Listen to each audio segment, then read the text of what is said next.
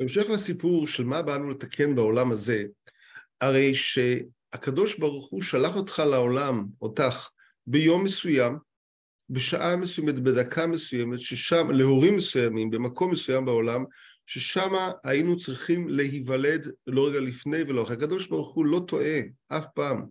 גם אם אצלנו יש טעויות קשות וגורליות, בורא עולם לא טועה, ורבים הראיות מהתורה גם לזה, כמו מעשה יהודה ותמר, לכאורה זה היה טעות, הוא לא ידע, הוא לא הבין, יצא מזה משיח צדקנו.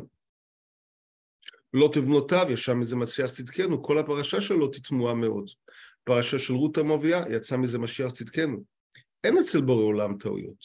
ולכן כשהוא שולח אותך, אותך לעולם, יש לו משימה מאוד מאוד ברורה, ובלעדיך העולם לא מתקיים, לא יכול להיות מתוקן.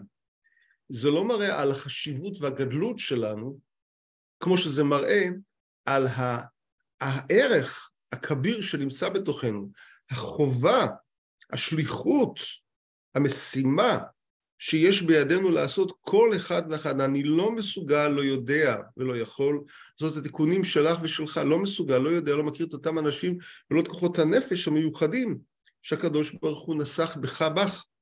ולכן עלינו למצוא מה המשימה המיוחדת, מה מושך אותנו, איפה הכוח, איפה הניצוץ האלוקי שורה בתוכנו, איפה החלום שמפעיל אותנו.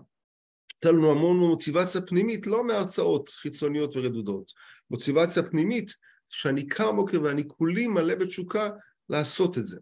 וכשנמצא את הדבר הזה הגדול, שמה בשביל זה שלח הקדוש ברוך הוא אותנו לעולם. כשזה מגיע לעם ישראל, עם זה יצרתי לי, תהילתי יספרו כל אחד בדרך שלו. כל אחד מאיתנו הוא אות שלמה בספר תורה, ושומה עליהם למצוא איזה אות אנחנו ולהשלים את אותה אות אחרת כל ספר התורה בלא אות אחת שלמה, פגום. הולכים ערב שבת שלום ומבורך.